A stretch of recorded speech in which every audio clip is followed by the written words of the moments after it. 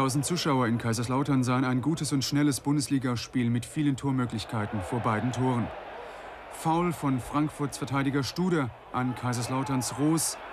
Stefan Kunz verwandelt den fälligen Strafstoß 1 zu 0 in der 19. Spielminute. In der Folge bestimmte Eintracht Frankfurt das Spiel. Die Hessen erarbeiteten sich gegen eine wackelige Abwehr der Pfälzer mehrere hochkarätige Chancen. Spitze waren die Frankfurter heute aber nur im Auslassen dieser Möglichkeiten. Trainer Jörg Berger unzufrieden, auch Verteidiger Ralf Weber trifft aus bester Position nicht. Die 1:0 Pausenführung für Kaiserslautern entsprach nicht dem Spielverlauf. In der zweiten Hälfte wurden die Pfälzer aber stärker. Stefan Kunz machte das 2:0 in der 49. Minute. Sein siebter Saisontreffer. Frankfurt litt unter dem Fehlen seiner beiden Stürmer Eckstein und Turowski. Bezeichnend, dass Libero Manfred Binz in der 89. Minute den Anschlusstreffer erzielte.